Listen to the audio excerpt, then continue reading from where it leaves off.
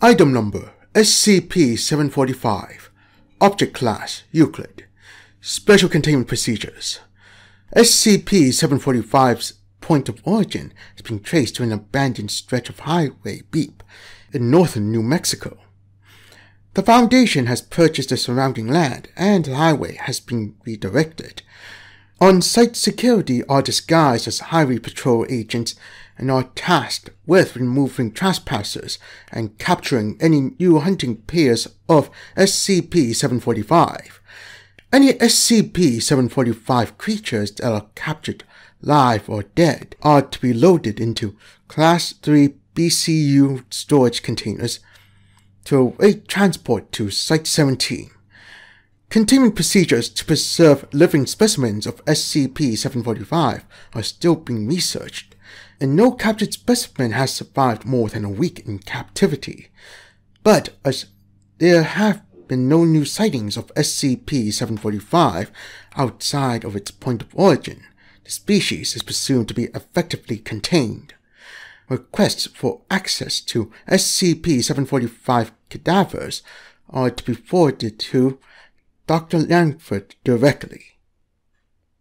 Description SCP-745 is a bipedal nocturnal predator. The head is a bloated sack of clear skin that lacks visible sensory organs or skull. The brain of the creature can be directly observed and is wrapped in a web of bioluminescent organs below the skin. Skin covering the rest of the body has a deep black coloration.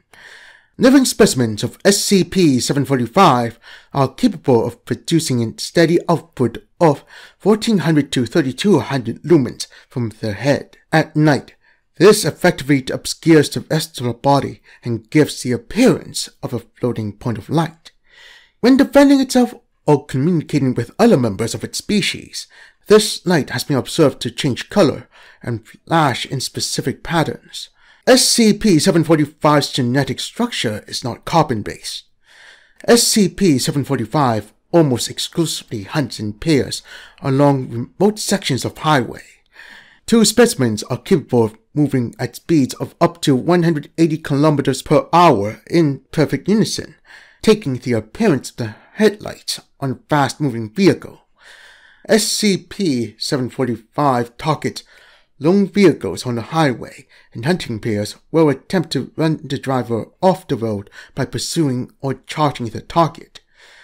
Once the prey swerves off the road or comes to a stop, the pair will separate to directly assault and consume the vehicle's occupants. SCP-745 has not yet been directly observed when feeding, as captured specimens will not eat, and successful attacks have yet to leave any witnesses behind.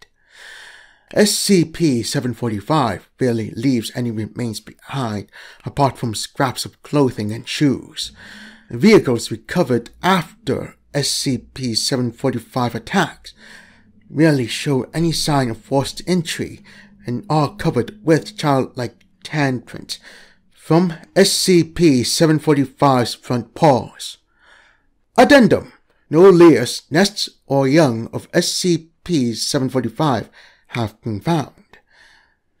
SCP-745 had established a wide territory across the southwestern United States until Foundation teams began thinning their numbers in the 1960s, after which all recent SCP-745 sightings have been on a secured patch of land in New Mexico. Reports of phantom lights in other parts of the country has been investigated, and no signs pointing to SCP-745 involvement.